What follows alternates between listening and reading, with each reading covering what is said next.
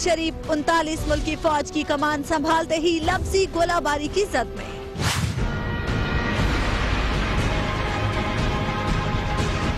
नाब कानून में तब्दीली, कानून को मज़बूत बनाने की कोशिश या कमज़ोर करने का आगाज़?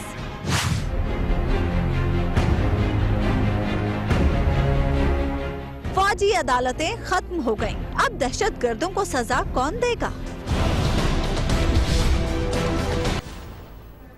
वालेकुम नाजरीन, आप देख रहे हैं प्रोग्राम खबर यह है और मैं हूँ आपके साथ उस्मान ओमान। नाजरीन, वो लोग जो शुक्रिया राहील शरीफ कहते नहीं थकते थे, आज लफ्जी गोलाबारी कर रहे हैं सबक army chief general Raheel Sharif पर और उसकी वजह यह है कि राहील शरीफ साहब को उनतालीस मुल्की इस्लामी फौजी इतिहाद का सरबरा बना दिया गया है और ख्वाजा आसिफ ने इसकी तस्दीक भी कर दी है।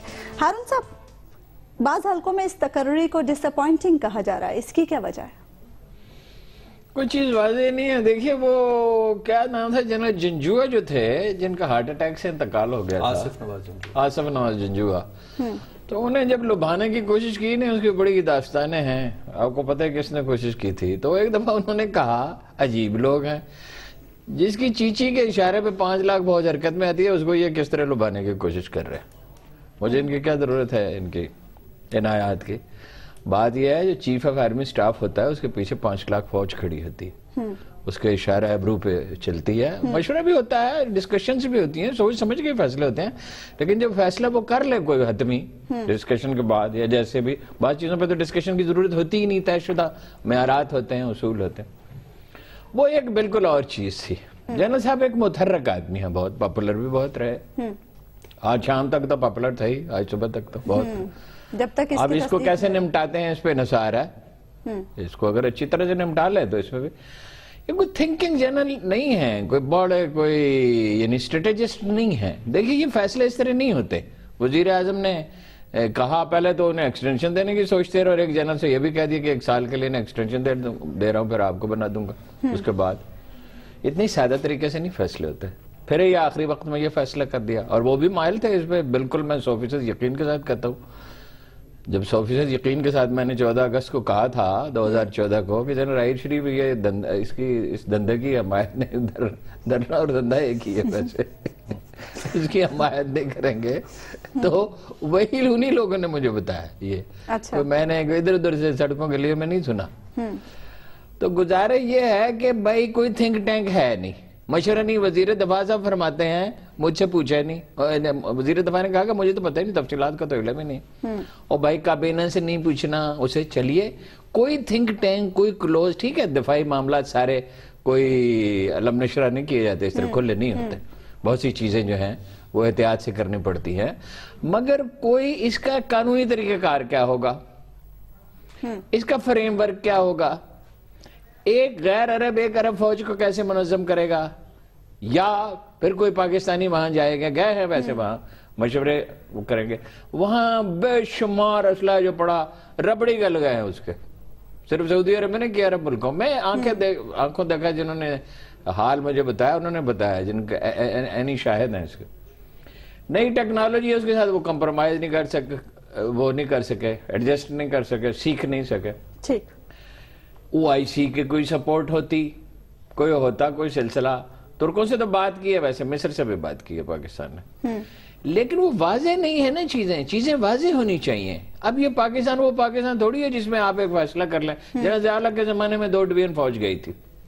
कोई मसला नहीं था। खैर वो तो अब भी चली जाए। जहाज़ मुकदस के जहाँ तक दिफा का सवाल है हर पाकिस्तानी की कमिटमेंट है कोई इसमें कोई सवाल ही पैदा नहीं होता। ये एक कौमी पैमान।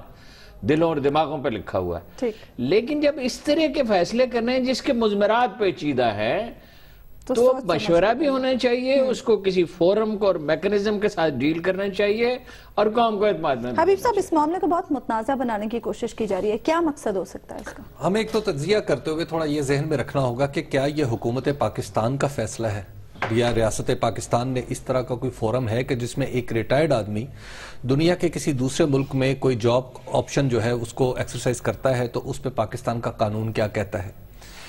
पाकिस्तान में वज़ीर दिफा जो अगर एक मामले की वज़ीर दिफा ने वजी वज़ीर तो दिफा ने मतलब मालूमात हुकूमत होने का इकरार किया है। हुकूमत पाकिस्तान जो वज़ीर दिफा ने मालूम होने का इकरार किया है। जो मेरी मालूम है हुकूमत पाकिस्तान के जो ऑफिशियल जराए हैं वो इस तरह की किसी भी चीज़ की तरदीद करते हैं कि उनका कोई अमल दखल इसमें है। कि जनरल राहील शरीफ ने एक इस इतिहाद की सरबराही कबूल की या सऊदी अरब के साथ उनके क्या मामला हैं इसमें किसी ने बीच में अपनी व्हीलिंग डीलिंग में कोई किरदार अदा नहीं किया। अच्छा। दूसरी बात है खामोशी और या नफी तो इस तरह की भी कोई चीज़ अमूमी तौर पर हुकूमती सर्कल्स में नहीं पाई जाती कि इससे या तो हमें कोई बड़ा नुकसान है या कोई बड़ा फ़ायदा है। अलबत् जो वजारत खारजा है हुकूमत की उससे थोड़े से उसके अंदर जो मेरे जराए बताते हैं कि उसमें थोड़े से कंसर्न हैं। इस हवाले से। लेकिन जो जनरल राहील शरीफ हैं अपने रिटायरमेंट के बाद एक इन, पाकिस्तानी रिनोन इंडिविजुअल है। दूसरा ये जो मामला चला कब से? ये मामला चला था जब 2015 में आपको याद होगा कि जनरल राहील शरीफ सऊदी अरब गए थे जहाँ पे उन्होंने एक अरब मुल्कों की एक्सरसाइज में शिरकत की थी और वहाँ पर उसको ऑब्ज़र्व किया था। वहाँ पे जो जो सऊदी वज़ीर दिफा हैं शहजादा मोहम्मद बिन सलमान जो थर्टीज में है और practically he is running the show in Saudi Arabia. तो आपको पता है सऊदी अरब हो या अरब ममालिक हो यहाँ पर चीज़ें राय आमा की बुनियाद पर या थिंक टैंक्स के साथ नहीं चलती बल्कि पर्सनल और इंडिविजुअल रिलेशनशिप के साथ चलती हैं।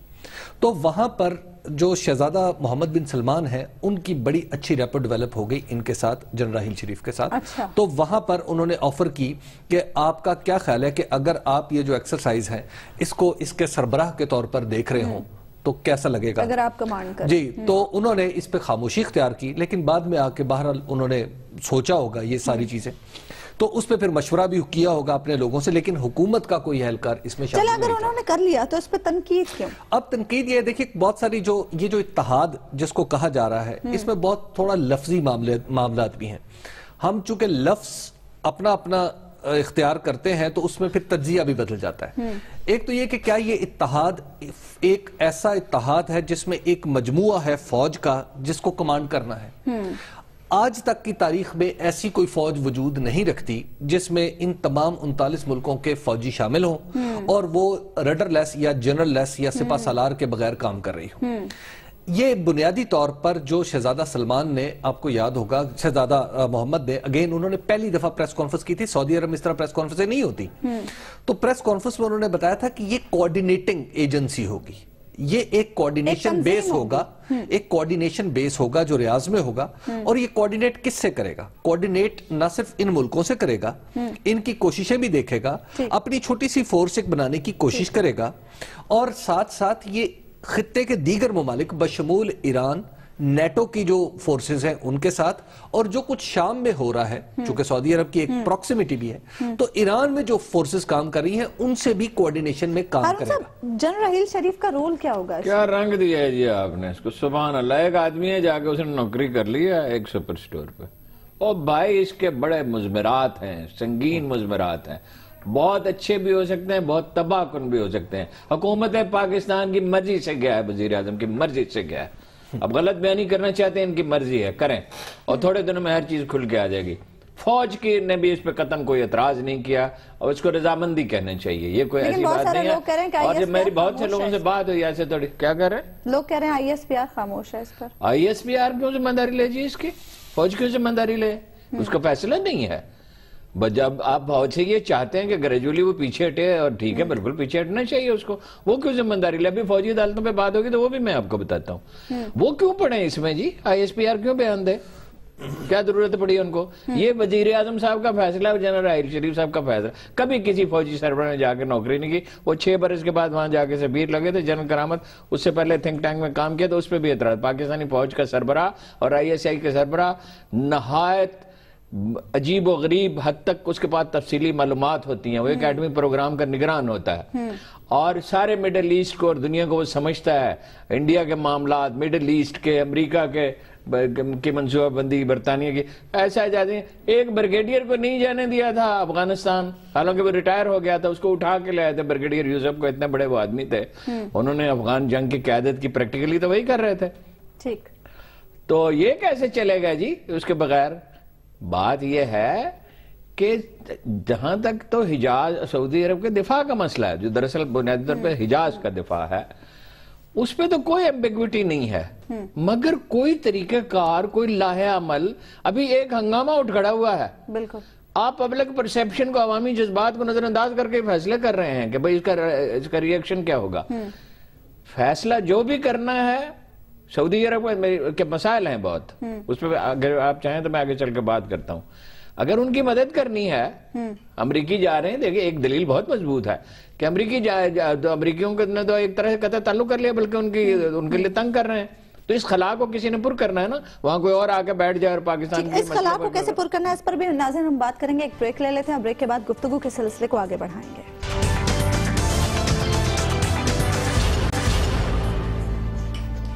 वेलकम बैक नाजिर ब्रेक पर जाने से पहले हम बात कर रहे थे जनरल राहिल शरीफ के हवाले से जिन्हें इस्लामी फौजी इतिहाद का सरबरा बना दिया गया और उसे लेकर अब सोशल मीडिया पर और मुख्त हल्कों में तनकीद का सिलसिला जारी है। हबीब साहब पार्लियामेंट में जो यमन के मामले पर डिबेट हुई थी, उसे भी इस मामले से जोड़ा जा रहा है। क्या इसी मामले से उसका भी ताल्लुक है? उस वक्त ये जो यमन में चूँकि हमने आ, कोई भी इंटरवेंशन करने से इनकार कर दिया था हमारी पार्लियामेंट ने और उस पर आपको याद होगा कि सऊदी अरब को भी बड़ी तकलीफ़ हुई थी और उन्होंने खामोशी ही इख्तियार की थी।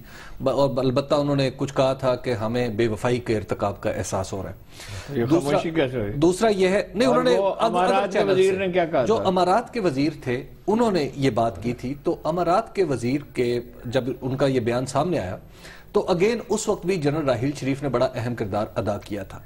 जनरल राहील शरीफ की मुलाकात तय थी कुछ अरब शयूख से। तो उस वक्त उन्होंने कहा कि मैं आपसे नहीं मिलूँगा जब तक ये बयान रिट्रैक्ट नहीं किया जाता। और उसके बाद भी तीन मुलाकातों की जो दरखास्तें थी उनको इल्तवा में डाल दिया गया जनरल राहील शरीफ की तरफ़ से जिससे फिर एक मैसेज जो था वो अक्रॉस हो गया कि आप इस तरह के बयान पाकिस्तान के खिलाफ ना दें। और फिर आपको याद होगा कि वो बयान जो था वो रिट्रैक्ट किया गया था। दूसरा इसका पहलू यह है अभी जो कानूनी पहलू बात कर रहे थे एक राय मुझे अभी मौसू हुई और वो एक जिम्मेदार शख्स की तरफ़ से तो उन्होंने बताया कि जो कानून है फौजी हम्म। कानून उसके मुताबिक ये होता है कि एक साल जो आप रिटायरमेंट के बाद का इमीडिएट एक साल होता है उसको आप यूँ समझिए कि वो रिटायरमेंट नहीं होती बल्कि छुट्टी होती है। अच्छा। उसमें खुदा न खास्ता अगर कोई वाक्य हो तो आप एक्टिवली सर्व करना पड़ सकता है आपको। अच्छा। तो आप ऑन कॉल होते हैं। किसी तो, वक्त भी बुला सकते हैं किसी वक्त भी बुलाया जा सकता है। आपको किसी ने बताया जी। किसी वक्त भी बुलाया अच्छा, जा सकता। तो उसमें उसमें जो है वो खास एज चुके होती है ना तो उस एज की पाबंदी की जाती है। उसमें तो और फिर दूसरी बात है जी आर्मी चीफ इनकी क्या एज है जी? बूढ़े हो गए? इनके फिफ्टी फिफ्टी एट यानी वो वहाँ मतलब ये कि कमांडर इन चीफ हो सकते हैं यहाँ नहीं तलब किए जा सकते। हरुण साहब अभी ये वाजे नहीं है कि वो कमांडर इन चीफ क्या वहाँ पे एक एक्टिव फोर्स बनेगी जिसके कमांडर इन चीफ होंगे? यही तो हम रो रहे हैं अजीब लोग हैं फैसला कर लिया चीज़ें बाजे नहीं है। तो अब ये अब ये दूसरा इसका जो खारजा हवाले से है इसका मामला वो ये है कि एक इसका पर्सपेक्टिव है जो ईरान ने लिया ईरान के जो जितने सफारतकार हैं जो मेरे दोस्त जराए जो हैं वो बता रहे हैं कि वो इस पे खासे जुजबुज हैं। और उन्होंने इसको कहा है इस इतिहाद के बारे में उन्होंने कहा कि ये जी कुछ तो, तो कॉन्स्पिरेसी का हमें इस पे शक गुजरता है। और ऐसा लगता है जनरल राहिल शरीफ जो पाकिस्तान रवैया है कि उनके मुस्तकिल तहफात हैं इसमें तो अब इसमें तो तो अब इसमें जनरल राहील शरीफ का बहुत इंपॉर्टेंट किरदार अगर इसको फ्लिप साइड पॉजिटिवली देखें हम्म। तो जनरल राहील शरीफ इस जो भी कोऑर्डिनेटिंग फोर्स है हम्म। या कोऑर्डिनेशन का डिपार्टमेंट है या एक नई फोर्स है हम्म। इसका जो जहत है वो मुतयन कर देंगे ये एक उसके सरबराह के तौर पे उसकी जहत जो है वो फिरका वराना नहीं होगी बल्कि उसकी जहत एंटी टेररिज्म की होगी और इसमें हमें भी ये ध्यान रखना चाहिए कि हम जब इस तरह की बात कर रहे हैं तो एक तो ये कि वो हमारे जनरल हैं हम्म। और हमारी फौज के सिपा सालार रहे हैं और दूसरी बात यह है कि वो किसी मुल्क के खिलाफ इतिहाद में शामिल होने नहीं गए। नहीं गए। चाहे वो मुल्क कोई मुल्क उन, उसका परसेप्शन कैसा है हम्म। आइंदा आने वाला वक्त जो है इसको ज़ाहिर कर हुकूमत पाकिस्तान ओ भाई सऊदी अरब की एनिमिटी है या नहीं? सीरिया में है बहरीन में मसला है ईरान के साथ मसाइल हैं शायद इराक के साथ भी कुछ हैं। वो वो उनको मिल, उनका कोई इम्पैक्ट असर इस पर होगा या नहीं होगा? ये ठीक है, पाकिस्तान चाहता यही है कि भाई ये इसको ईरान और सऊदी अरब के ताल्लुकात बेहतर हों। लेकिन ईरानियों को भी हम जानते हैं और सऊदियों को भी हम जानते हैं। वो कर देंगे, उसके रुख मुतयन कर देंगे। उसने कहा, क्या उसका नाम था? मार्क समथिंग, सी आई ए का डायरेक्टर ऑपरेशन था, उसे तुर्की फैसल ने कहा कि हम ऑपरेशन से नहीं करते। हम जानते नहीं हम चेक लिखने जानते हैं। और इख्तियारात उसको देंगे यही तो वाजे होने चाहिए। इख्तियारात देंगे। डायरेक्शन मुतयन करेंगे कैसे देंगे इख्तियार कोई ट्रेडिशन नहीं है। कभी ऐसा हुआ नहीं। बार ये को कदीम फौज थी वो क्या फ्रेंच जनरल था उसका नाम मैं भूल गया रंजीत सिंह की फौज में। इटालियन तोपची था दारा शिको के लश्कर में और बहुत से लोग आते थे बहुत से साथ लोग काम करते वो जमाना नहीं रहा है अब। अब पेचीदगियाँ हैं बहुत। ठीक। उसका मलबा तो बढ़ेगा किसी ने जनरल राय किसी सेंसेबल आदमी ने जनरल राय शरीफ की नीयत पर शक नहीं किया। मसला है मामला को हैंडल कैसे किया जाएगा? ना कोई वज़ीर आज़म के बारे में ये कह रहा है कि वो किसी साजिश में शामिल होगा खुदा न खास्ता लेकिन ना कोई फौज के बारे में कह रहा है। चीज़ों को उसका कानूनी तरीकेकार उसका लाया अमल उसकी प्रायोरिटीज और फौज कैसे बनेगी किस तरह होगी पाकिस्तानी अफसर वहाँ गए। मैंने आपको ज़िम्मेदारी से बताया किसी काम के नहीं अरब फौजी नाकारा हैं बिल्कुल। मिस्री अपने वहाँ उलझे हुए हैं। और रबड़ तक तो खराब होते हैं मैं कई नाम लेके आपको असला खानों के बारे- में गोदामों के बारे में बता सकता हूँ जहाँ घोंसले बना रखे हैं परिंदों ने। ठीक है एक ब्रेक ले लेते हैं जहाँ ने के सिलसिले को आगे बढ़ाएँगे।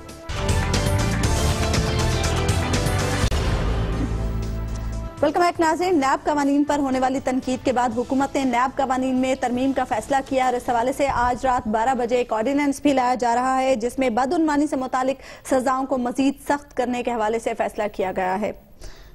हबीब साहब, जो ऑर्डिनेंस आ रहा है, उससे क्या तब्दीली आएगी? फंडामेंटल तब्दीली तो कोई नहीं है। चूँकि प्ली बारगेन के खिलाफ एक अन अनइनफॉर्म्ड किस्म का प्रोपेगेंडा है जिसका हिस्सा जो है खुद हमारे वज़ीर दाखिला जनाब चौधरी निसार अली खान साहब और हमारे वज़ीर आला जनाब खादम खादम पंजाब जनाब शहबाज शरीफ साहब भी उसका हिस्सा बन गए। अच्छा। और इमरान खान साहब ने भी प्ली बारगेन को इसी तरह का कुछ बात की। प्ली बारगेन दुनिया में एक नज़रिया कानून के तौर पर चलता है और काम करता आ रहा है। ऐसे ही चलता है ऐसे ही चलता है। ऐसे ही चलता है और ऐसे ही काम करता है। और दुनिया में जितनी स्टडीज़ हुई हैं पाकिस्तान का जो नैब का लॉ है 99 का जो जनरल परवेज मुशरफ के दौर में बना था उस कानून को one of the best laws कहा जाता है अगेंस्ट करप्शन और उससे पहले की अगर आप लॉ की जितनी भी चीज़ें देख लें तो आपने पॉलिटिकल केसेस बनाए जिसमें खुद मोहतरमा बेनजीर भुट्टो को भी मानना पड़ा और जनाब नवाज़ शरीफ साहब को भी मानना पड़ा कि हमने एक दूसरे को पोलिटिकली मिलाइन किया था और पोलिटिकल प्रोसिक्यूशन की थी नैब के ज़रिए। नैब के कानून में जब ये तरमीम हुई कि जनाब इसका जो बाई पार्टीजन कंसेंसस के साथ इसका सरबरा लगेगा। तो उसके बाद फिर दोनों पार्टियों के पास ये ऑप्शन भी खत्म होगी कि एक दूसरे को प्रोसिक्यूट कर सके अजियत दे सके बजरिया करप्शन आपको लग रहा है मौजूदा कानून अच्छा मौजूदा कानून जो है इसके खिलाफ एक इत्तफाक राय कहाँ पे है? आप देखिए कि पीपल्स पार्टी की हुकूमत ने अपने दौर में इस कानून को तब्दील करने की कोशिश की और अचानक पीएमएलएन को यह ख्वाब आया कि ये जो प्ली बार्गेन है ये तो चोरी है। ये जो ये तो जी अदालतों के अदाल अच्छा अदालत में भी ज़ाहिर है हमारे बेंच में भी कहीं ना कहीं मुझे यूँ लगता है कि कानून की वो जजेस बहुत मोहतरम लोग हैं लेकिन अगर वो पूरी तरह इसको देख लें इन टोटल इन होलिस्टिक दुनिया के दूसरे मुल्कों के मुकाबले में रख के तो प्रॉबली वो कमेंट्स ना आते जो वो कमेंट्स आए। हारून साहब आपको क्या लगता है? हबीब साहब जो कह रहे हैं कि ये कानून अभी तो ठीक है बादशाह आदमी है जो चाहें फरमा सकते हैं। गुजारे ये इस तरह नहीं है दुनिया में प्ली बार्गेन ये है कि आदमी मुजरम साबित हो गया चोरी की ठगी की खयानत की गबन किया इसके बाद वो सरकारी मुलाजमत में भी रहेगा।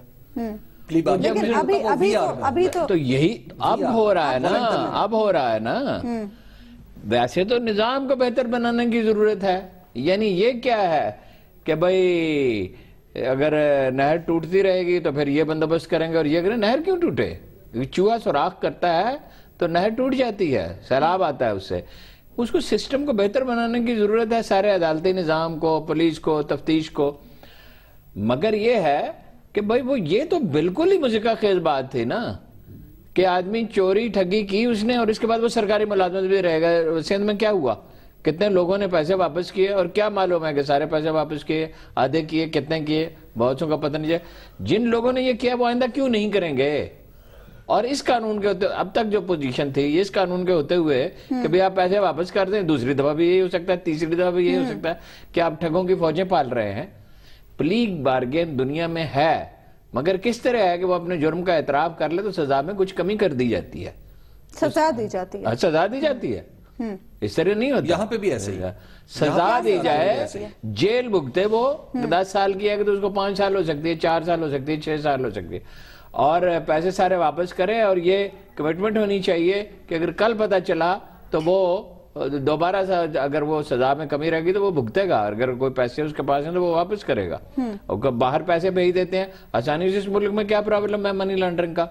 हर कोई दो बिलियन डॉलर की जायदादें दुबई में खरीदी जाती हैं हर साल। और बांग्लादेश में इन्वेस्टमेंट है। उसको कानून को सिर्फ़ मज़बूत बनाने का मसला नहीं है अदारों को भी मज़बूत बनाने का मसला है। सिर्फ़ कानून का फेयर होने से मसला अभी सब आपको क्यों ये लग रहा है कि ये कानून जो अब जो ऑर्डिनेंस आ रहा है उससे उसकी वजह मेरे पास एक फहरिस्त है जिसमें कुछ मजबूरी तौर पर तकरीबन साढ़े चार सौ अरब के केसेस हैं हाई प्रोफ़ाइल केसेस हैं।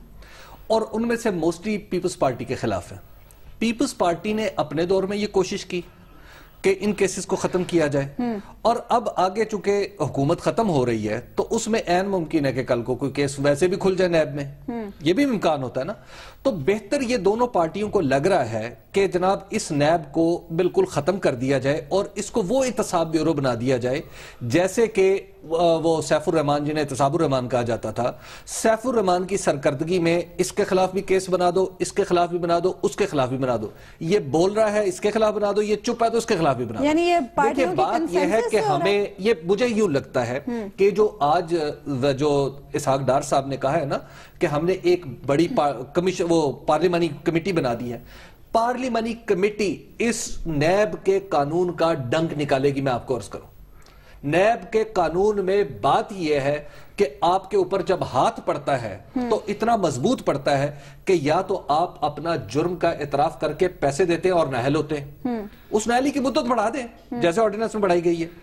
और दूसरा है वीआर वीआर क्या है जी? वॉलेंटरी रिटर्न है उसमें अदालत नहीं आती। इसमें बाकायदा अदालत आती। है अच्छा वॉलेंट्री रिटर्न में ये होता था कि भाई आपने इतराफ कर लिया तो कार्रवाई किसने करनी है? नैब तो लिख देता था मुतलका इदारे को कि जाके भाई ये इसने वॉलेंट्री रिटर्न पे ये पैसे दिए हैं। इसको तो कौन उन्हें उसे रखता था? हुकूमतें रखती थी। हुकूमतों को ऐसे करप्ट लोग चाहिए थे। और अगर किसी को बहुत परेशानी है कि जनाब केसेस लटके रहते हैं तो केसेस किसने देखने हैं? आप देखें उसूली तौर पे ये चाहिए कि हमारी जो सुप्रीम कोर्ट है जो कानून में तब्दीली अगर आप करना चाहते हैं वैसे इसमें कानून में तब्दीली की ज़रूरत नहीं है। सुप्रीम कोर्ट को चाहिए कि वो एक जज मुकर करे सुपरवाइजरी रोल में। या मुतलका हाईकोर्ट्स को कह दे कि सुपरवाइजरी रोल में आप जरा एहतसाब अदालतों का काम देखें कि यहाँ पे डॉक्टर आसिम के खिलाफ आपने 470 अरब रुपए बस कह दिया। अब वो चौका छक्के मारे बस क्या कह दिया? एक साल हैं। एक साल क्या कह दिया? साहब एक साल में कह दिया? तो दे दें हैं? एक साल में आपने मुझे मुझे सबूत तो बना दिया केस है इस मुल्क में जो इस तरह का अदालती और तफ्तीशी निज़ाम है कि फटाफट फैसले हुए उसके मामले में बड़ा तरसी आ तरसियार आपको आता है तो उस ये लूट खाने वालों पे आपको हमदर्दी बड़ी है यार हर उस आदमी पे तरस आता है जिसको कानून से बाला तर होकर किसी की नफरत की बुनियाद से किसी को शुबा नहीं है कि उसने पैसा खाया है चार सौ बासठ अरब नहीं है फ़र्ज़ कीजिए दो सौ अरब है। नुकसान उसने पहुँचाया है। पीपल पार्टी का तो तक वो था नहीं। नहीं मुझे नहीं, तो आपको- शुबा क्योंकि अदालत में अभी तक तो कोई जुर्म साबित नहीं तो हुआ। हर चीज़ पे शुभ हर मुजरम अदालत में अब एक साल अब होगा ये क्या? हारून साहब एक साल बाद हो गया। है कानून ये कहता है कि चालान अगर पेश ना किया जाए जो भी फ्रेम ही नहीं चार्ज नहीं फ्रेम हुआ उसकी जमानत होगी। तो नहीं बाहर हो आएगा। रहा क्यों नहीं हो रहा ये हुकूमतें उसकी जिम्मेदार है ना? तो हुकूमतें फिर हुकूमतें क्यों कर रही है? नैब को लॉ को आप तब्दील करें आप नैब के लॉ को तब्दील करने के पीछे तो फिर ये क्या कहे ना कहे ना कि ये कसूरवार ये हैं। बिल्कुल कसूरवार। नहीं ज़्यादा सख्त लफ्ज होने नैब के हारून साहब एक स्टडी है है। कि नैब अब हुई है मुतहरक वो ठीक है इससे इनको परेशानी लाख हुई है। अब चंद माह बाद उसको रिटायर हो जाना है। उससे इनको परे- शबा नवाज़ शरीफ साहब भी चीखते रहे। जिन- जिनकी बड़ी वकालत आप फरमाते हैं हर चीज़ में आज पता नहीं क्या हुआ। मैं वकालत किसी के की नहीं फरमाता, थोड़ी देर के लिए कुछ हो जाता है। दलाइल के साथ। हाँ। और फैक्ट्स क्या कहने जी ब्रेक पे मुझे जाना है अभी। एक ब्रेक ले लेते हैं ना ब्रेक के बाद गुफ्तगू के सिलसिले को आगे बढ़ाएँगे।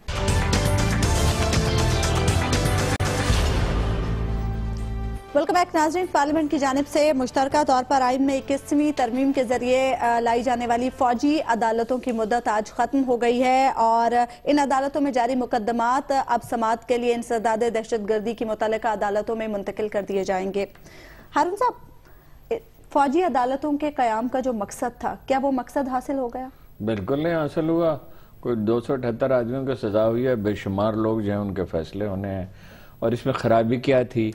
वजारत दाखिला भेजती थी ना जायजा लेने के बाद केसेस और मैं इसमें बिलीव नहीं करता कि ये सिलसिला चल सकेगा। और ये तो मिलिट्री लीडरशिप को तो ये बताया गया था कि इसको एक्सटेंड कर दिया जाएगा।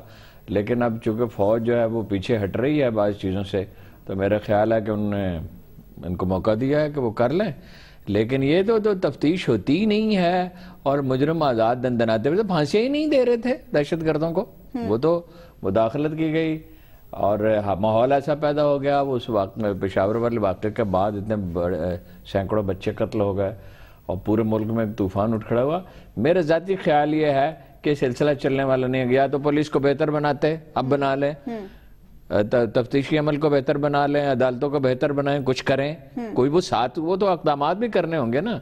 फाइनली तो बहरहाल से बल्लेदारों को ही चलाने चाहिए तो हम हमेशा कहते रहते हैं। तो क्या किया था जरदारी साहब ने? पाँच बरस में कुछ इस पर किया था।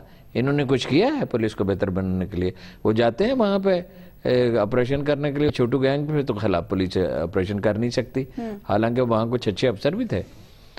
तो मुझे तो ये लगता है कि ये कुछ अरसा करेंगे। इल्ला ये कि कोई गैर मामूली इकदाम कर दें। अब गैर मामूली कोई तो मैं तो ज़्यादा नहीं करता। कर दें तो ठीक है। वरना यह है कि फिर फौजी अदालतें बहाल करनी पड़ेंगी। हबीब साहब फौजी अदालतों के कयाम का एक मकसद ये भी था कि इंसदाद दहशत गर्दी एक्ट में असलाहत लाई जाए इस अरसे के दौरान। लेकिन ऐसा तो कुछ नहीं हुआ। फौजदारी निज़ाम में। हम्म।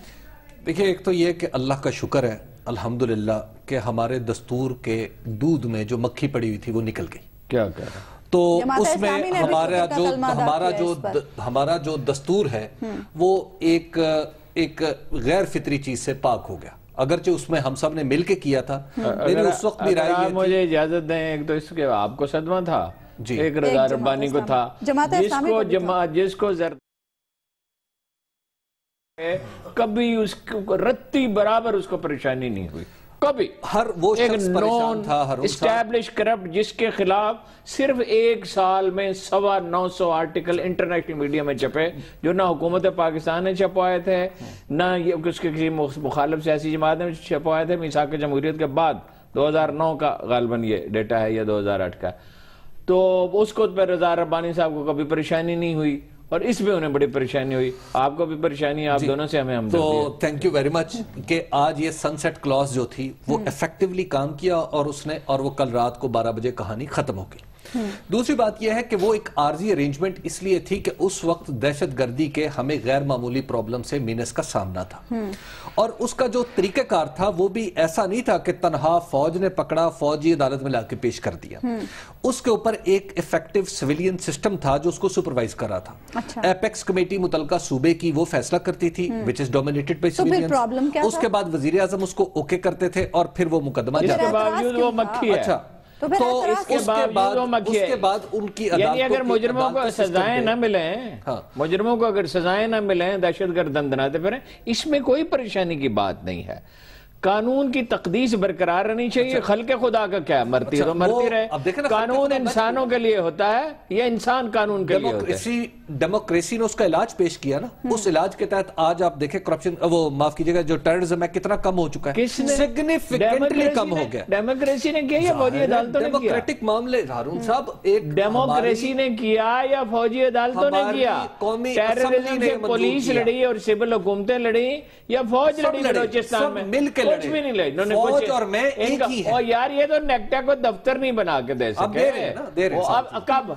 अच्छा कब बना के दे रहे हैं? अब दे रहे हैं अब जब तीन साढ़े तीन साल का गुजर जाना दहशत गर्दी में कोई बात ही नहीं है। और उससे पाँच साल पहले जमहूरियत के जरदारी और बात भी देखिए। हमारा जो एटीसी का निज़ाम है ना एंटी टेररिज्म जो एंटी टेररिस्ट जो हमारा लॉ है एक एटीए जिसे कहते हैं। वो एक तो खासा स्ट्रांग है और बहुत सारी चीज़ें उसमें मौजूद है। हम्म। पहले मसला क्या था कि टेररिज्म बहुत ज़्यादा था जजेस जो थे वो उस तरह एक्ट नहीं कर रहे थे। हम्म। आज क्या प्रॉब्लम है?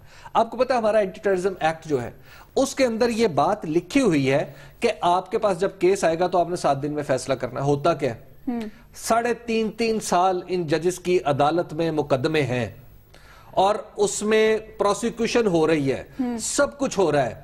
आखिर क्यों लेट हो रहे हैं? नंबर वन मैं वो भी अर्ज़ करता हूँ। नंबर टू हाई कोर्ट में लिखा हुआ है कि पंद्रह दिन के अंदर अपील होगी और वहाँ पर भी सात दिन में फैसला हो जाएगा। क्यों नहीं हो रहा? किसने करना है? हुकूमत ने?